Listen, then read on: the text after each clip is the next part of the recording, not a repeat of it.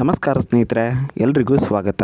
ಈ ವರ್ಷ ಅಂತ ಹೇಳಿದ್ರೆ ಎರಡು ಸಾವಿರದ ಇಪ್ಪತ್ತೆರಡರಲ್ಲಿ ಕನ್ನಡದ ಸಾಕಷ್ಟು ಸೆಲೆಬ್ರಿಟಿಗಳು ಎಂಗೇಜ್ಮೆಂಟನ್ನು ಮಾಡ್ಕೊಂಡಿದ್ದಾರೆ. ಸೊ ಹೀಗಾಗಿನೇ ಮುಂದಿನ ವರ್ಷ ಹಸೆಮಣೆ ಏರ್ಲಿಕ್ಕೆ ರೆಡಿ ಆಗಿದ್ದಾರೆ.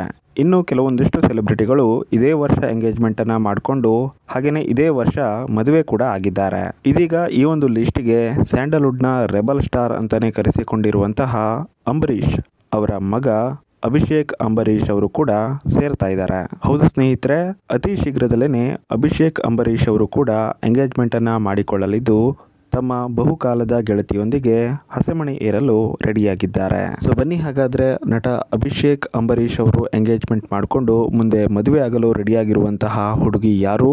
ಹಾಗೆಯೇ ಇವರ ಎಂಗೇಜ್ಮೆಂಟ್ ಯಾವಾಗ ಅನ್ನೋದ್ರ ಬಗ್ಗೆ ಮಾಹಿತಿನ ತಿಳಿಸ್ಕೊಡ್ತೀನಿ. ಅದಕ್ಕೂ ಮೊದಲು ಈ ವಿಡಿಯೋಗೆ ಇನ್ನೊಂದು ಲೈಕ್ ಮಾಡಿಲ್ಲ ಅಂತ ಹೇಳಿದ್ರೆ ಎಲ್ಲರೂ ಕೂಡ ಈಗಲೇ ಲೈಕ್ ಮಾಡಿ.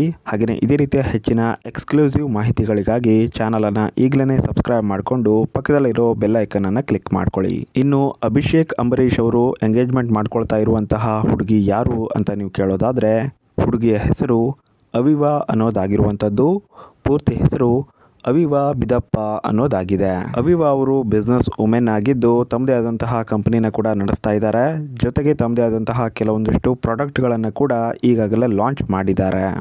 ಇನ್ನು ಅಭಿಷೇಕ್ ಹಾಗೇ ಅವಿವಾ ಅವರ ಒಂದು ಪರಿಚಯ ಏನಿದೆ, ಇದು ನಾಲ್ಕು ವರ್ಷಗಳ ಪರಿಚಯ ಅಂತ ಹೇಳಲಾಗ್ತಾ ಇದ್ದು, ಅತಿ ಶೀಘ್ರದಲ್ಲೇನೆ ಈ ಜೋಡಿ ಎಂಗೇಜ್ಮೆಂಟ್ ಮಾಡಿಕೊಳ್ಳಲಿದೆ. ಹಾಗಾದ್ರೆ ಎಂಗೇಜ್ಮೆಂಟ್ ಡೇಟ್ ಯಾವಾಗ ಹಾಗೆಯೇ ಎಲ್ಲಿ ಅಂತ ನೀವು ಕೇಳೋದಾದ್ರೆ, ಅದ್ರ ಬಗ್ಗೆ ಕೂಡ ಉತ್ತರನ ತಿಳಿಸ್ಕೊಡ್ತೀನಿ. ಈ ಜೋಡಿಯ ಎಂಗೇಜ್ಮೆಂಟ್ ಬೆಂಗಳೂರಿನ ಪ್ಯಾಲೇಸ್ ಗ್ರೌಂಡ್ ಅಲ್ಲಿ ಆಗಲಿದ್ದು ಮುಂಬರುವಂತಹ ಡಿಸೆಂಬರ್ ಹನ್ನೊಂದರಂದು ಇವರ ಎಂಗೇಜ್ಮೆಂಟ್ ಆಗಲಿದೆ ಅನ್ನುವಂತಹ ಮಾಹಿತಿ ಇದೀಗ ಸಿಗ್ತಾ ಇರುವಂತದ್ದು ಈ ಒಂದು ನವ ಜೋಡಿಗೆ ನಮ್ಮ ಕಡೆಯಿಂದ ಕಂಗ್ರ್ಯಾಚುಲೇಷನ್ ಸೊ ನೀವು ಕೂಡ ಕಮೆಂಟ್ ಬಾಕ್ಸ್ ಅಲ್ಲಿ ಇವರಿಗೆ ವಿಶ್ ಅನ್ನ ಮಾಡಬಹುದು ಅಂತ ಹೇಳ್ತಾ ವಿಡಿಯೋನ ಮುಗಿಸ್ತಾ ಇದ್ದೀನಿ. Thank you so much